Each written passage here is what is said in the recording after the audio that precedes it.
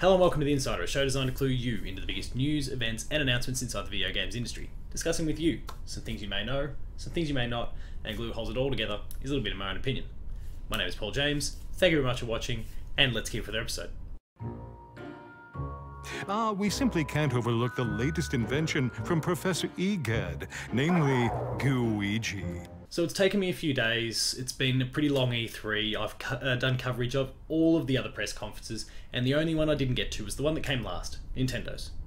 It's taken a while to digest because there was quite a lot on show, and in this episode of The Insider, we're going to break down everything we learned, starting with the third parties, moving on to the independent presence, and then, of course, the big Nintendo first party uh, showcase. We'll finish it up with a little bit of an opinion of the overall event. Let's get into it. When these six destinies entwine, their world will be born anew. Trials of Mana. We'll begin with the third parties, and the list is quite comprehensive, so please bear with me as I glance off camera every now and then just to get myself up to scratch with what's coming up. So they kick things off with Dragon Quest XI. The Definitive Edition, S, the Switch version, it's coming later this year. They showed off a bit of gameplay. This was in support of another announcement that we'll talk about soon. We saw a new game revealed, Dark Crystal, as in the Dark Crystal. This is a tie-in tactics game to the Netflix series that's coming up. Actually looked quite good. A little bit of Final Fantasy Tactics inspired. Um, again, tied into a Netflix series that's coming up, so who knows about the quality. But given what they're doing with uh, Stranger Things as well, the season three game that's going on there, it's quite interesting the step forward that Netflix is making recently using their IP to transfer into the games industry. I'm curious to see how it plays out. One that was really important to me the Mana franchise, which, if you've followed any of my work in the past, you know I'm a big fan of. I did a whole uh, of School series dedicated to it. The Mana franchise, one I hold dearly, the first three games, very important to me, and the collection that was released on the Switch for Japan quite some time ago is finally coming to the West. Which means Seiken Densetsu 3, a game that had never been released officially in the West. Sure, I might have this copy that I obtained from, uh, well, it's it's a modded kind of pirated one that someone then put on a cartridge, and I bought while I was in France. Good stuff. Um, sure, uh, you know, there's there's been different ways for us to access those games over the journey, but this is the first official release, and it means that as a result, it's actually getting a Western title. It's called Trials of Mana, and we're getting a remake of it that's going to come next year. So that's brilliant for fans of the Mana franchise, and hopefully means that that franchise is going to continue to develop in the years to come going through a few quick fire things here. We had The Witcher 3. Much surprise there, but the game is going to be running on the Switch. Probably not very well, but it's coming to the Switch. An awkward live action trailer that demoed uh, Resident Evil uh, 1, you know, 0 1 suddenly led to the announcement that 5 and 6 were coming to the Switch, which was which was great, but they're two of the weaker entries in the franchise. We got No More Heroes 3 revealed, a new Contra game, Contra Rogue Corps repeal, uh, revealed, probably one of the weaker games of the whole lot, but that's life. Uh, Daemon X Machina showed up. We had Panzer Dragoon. That's getting a remake. That's coming to the Switch. That was revealed there. Astral Chain got a decent uh, showcase. That game's only a month and a half away, so you've got one to look forward to there. Marvel Ultimate Alliance 3 was present, and you could maybe argue was the best Marvel Avengers related game that we saw this E3. Who knows? Uh, uh, Mario and Sonic at the Tokyo Olympics in 2020. That was there. That got a little bit of showcase. We knew this game was coming. It was only a matter of time. Looks alright. It's gonna do its job. Spyro Reignited trilogy is coming to the Switch. Alien Isolation is coming to the Switch. As is Super Lucky's Tale, a game that was locked to the Xbox One, is now coming over to the platform. That's great news for all fans of Switch, and basically, you know, it covers a really wide spectrum of different titles. The third-party presence at Nintendo's Direct this year was quite impressive.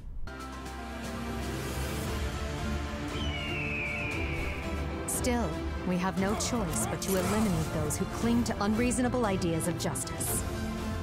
One of the things that we didn't see much of throughout the course of the Direct was actually independent titles.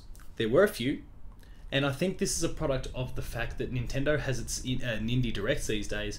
It means that we don't necessarily get as many of these big titles at E3, and it makes sense because there's so many massive, massive Nintendo first party IP that if you reveal this little indie game alongside it, it's often going to get lost in the crowd. I think the indie developers understand this, Nintendo understands this, and it means that they get shown off in different ways throughout the course of the year. I think it's to everyone's benefit.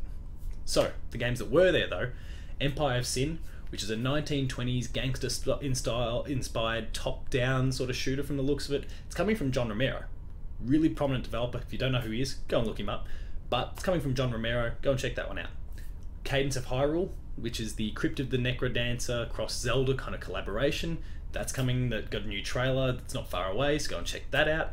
And Hollow Knight Silksong was there. And impressively, there's a fairly lengthy demo that was available at E3 for people to play. If you weren't at E3, you can of course just jump online and have a look at it. It is publicly available now for people to look at, so go and check that out. Really quite impressive. But that's it for the Nintendo Indie Showcase. There was probably a few games that are on the show floor that weren't shown in the conference itself, and that's great. But in terms of the conference, that's all there was.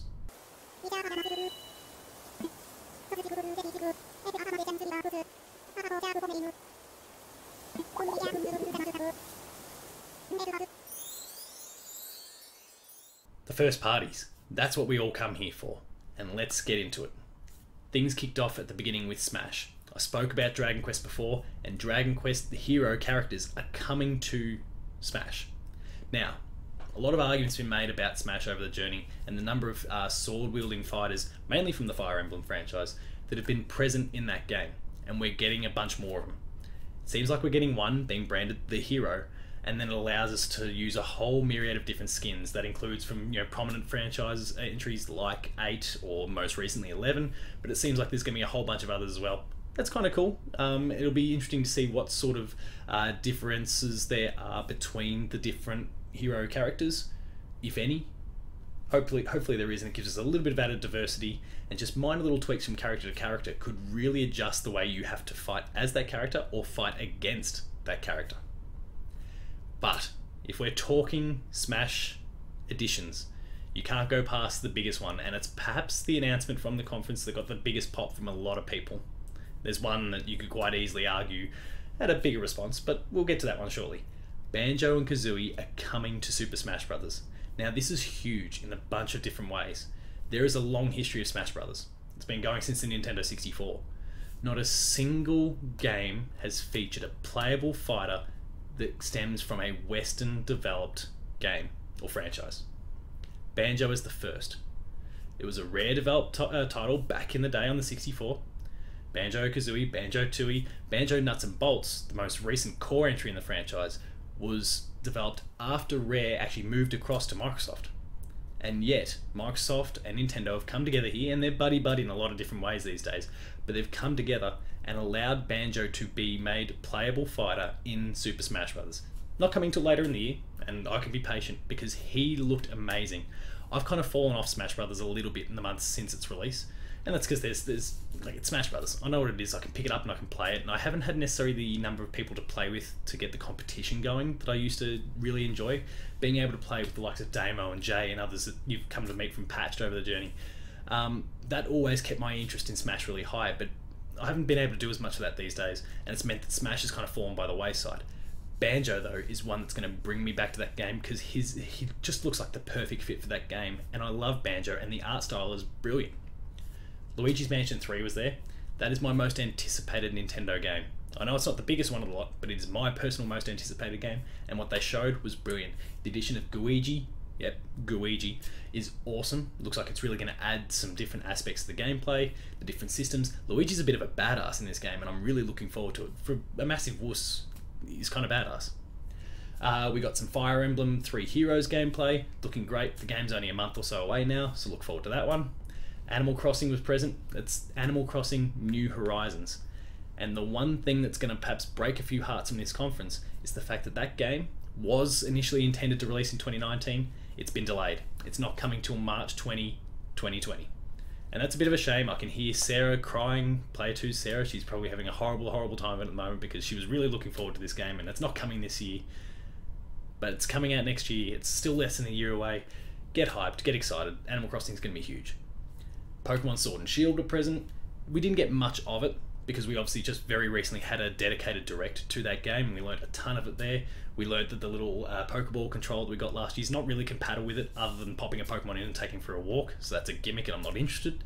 But the game's there, we got some plenty of gameplay, lots of people were able to go and play it on the show floor, and that's great for the game. It's a few months away. But the biggest announcement for a lot of people, if not Smash, was the fact that the Breath of the Wild, Legend of Zelda Breath of the Wild, is getting a sequel. We saw a trailer. That it doesn't have a formal title. It was just closed out by saying a sequel to Bre- Legend of Zelda Breath of the Wild is now in development. But we saw a lot of footage from it. It was about a minute and a half, must have been a minute and a half, two minutes long worth of trailer there. And there's no gameplay. But we kind of know what to expect from that game already. It looks like Ganondorf is back in some way. It's really interesting. I'm really excited. I can't wait to get back to that game.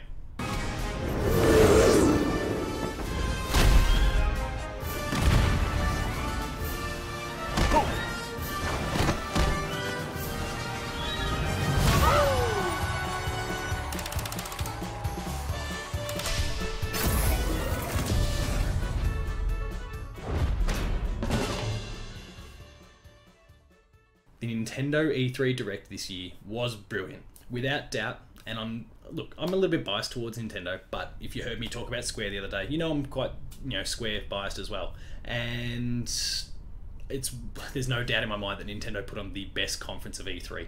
The competition wasn't stiff this year. Lots of developers just or publishers just seemed to refuse to show gameplay, which was really really odd. Nintendo, that is where their strength resides. So we've seen so much of Pokemon, we've seen so much of Fire Emblem, we've seen so much of Luigi's Mansion, Animal Crossing. The list just goes on and on.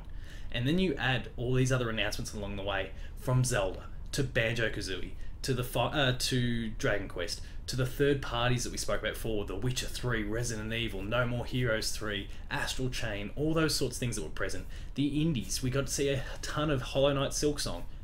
Like we got a tease in the in the direct, but then more on the show floor. Empire of Sin from John Romero. There's so many awesome things to come out of this Nintendo Direct. The list just keeps going on and on, and it doesn't matter what your preference is. It, Nintendo has done a great job in recent years of diversifying their portfolio, giving us different games. Because we got, you know, we understood. There's been criticism for years where they've depended on Zelda, they've depended on Mario, and once you once you exhaust the Zelda, Mario, Mario Kart, Smash Brothers combination, that's it. That's not the case anymore there's franchises that weren't present in any way, shape, or form from Mario Kart, which I firmly believe there's going to be a ninth entry on the Switch because the only Mario Kart we've got is a port. There's uh, Metroid Prime 4 that's obviously still on the way. Bayonetta 3 didn't show up. It's, obviously, it's a third party project, but it's exclusive. Uh, there's plenty of IP that just were not present at this particular showcase, which shows that Nintendo's still got legs. There's still more things they can be doing it's unbelievable the depth that this studio, this developer, this publisher, this console manufacturer has been developing in recent years. The decision to go uh, handheld slash console at the same time is proven to be very successful. I skipped Link's Awakening along the way. That's brilliant as well. I can't wait to get my hands on that.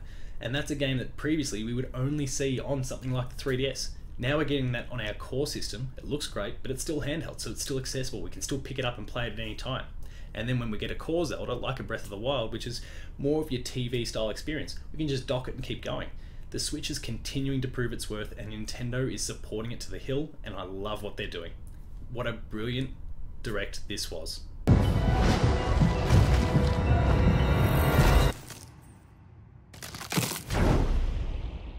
So that wraps up this episode of The Insider. I hope you enjoyed it. If you did, please consider liking, sharing, and subscribing. Those buttons are down below here, and hit that notification bell. That way you're alerted to every new video the moment it goes live on the channel. That includes Patched, The Insider, Player 2 Plays, like Game Review, Gamer School, and a whole bunch more. There's some awesome stuff there, so please consider checking it out. Visit the website, player2.net.au. The E3 Hub is live, it's busy, it's packed, there's so much still coming to it, even as we speak. Um, so many articles and previews and opinion pieces and news and and pre- predictions and all these sorts of different speculatory pieces that are all coming out around E3. There's so much to discuss. Go and check that out. Player2.net.au. Patreon.com slash player2au allows you an opportunity to kick in a little bit of support for us, from a few dollars where you'll get early access to episodes of this and patched, to higher tiers where you can get monthly episode exclusives of different shows. Finally, there's Twitter. You can find me at Paul James Games. The website is player2au. And until next time, which will be a wrap up of everything E3. I'll be discussing my favourite games from the conferences from the event. Thanks a lot for watching, and I'll see you next time.